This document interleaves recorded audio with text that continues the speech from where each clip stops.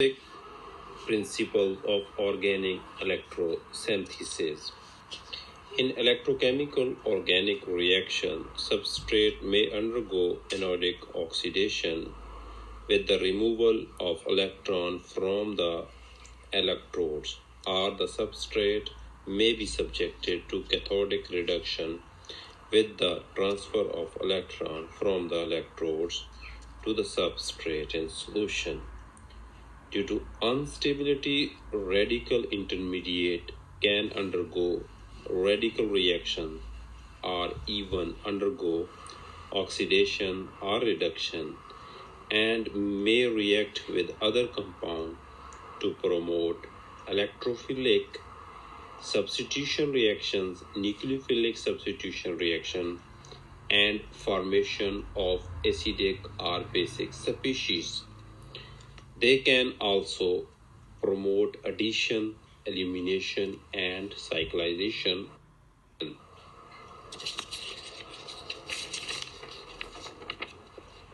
Direct and indirect synthesis.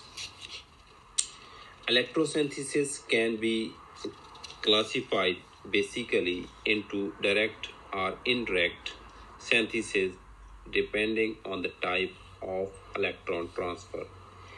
In the direct reactions, electron transfer occur directly between the surface of the electrode and the organic substrate.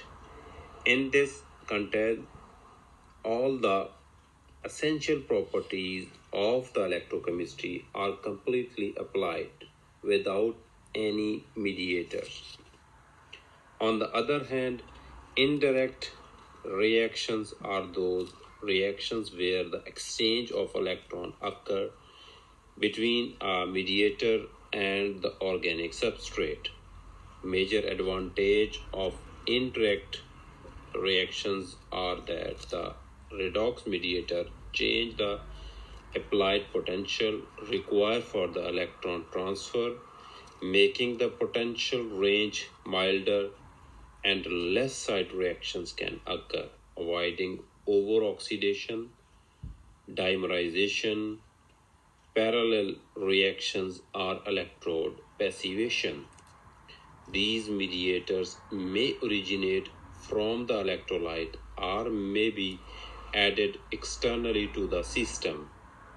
They promote indirect electrolysis, which is based on the electron transfer by these redox mediator dissolve in an electrolytic solvent and provide the necessary intermediate for the synthesis. Mediators may be organic or inorganic derivatives. Examples of inorganic compounds include transition metal complexes, multivalent metal ions, halide ions. Example of organic compounds include polycyclic aromatic compounds, triaryl amines, TEMPO, hypervalent compounds. In electrosynthesis using transition metal complex mediator, complex transition metal act by transporting electron between the substrate and metal with the catalyst acting as an electron transfer region. Redox potential and the selectivity of the desired reaction can be controlled by ligand exchange of complex transition metal mediators. Pair electrolysis. In pair electrolysis, synthetically useful products are generated from both electrodes to optimize both the atom and energy economy of the reaction the development of pair electrochemical reaction is important. Four different types of such pair electrolysis have been reported thus for, for parallel pair electrolysis, divergent electrolysis, convergent elect- pair electrolysis and linear pair electrolysis. All these types help in getting the benefit from both side of electrode and good oxidative and reductive products are achieved. Here is given a one example of parallel paired electrolysis.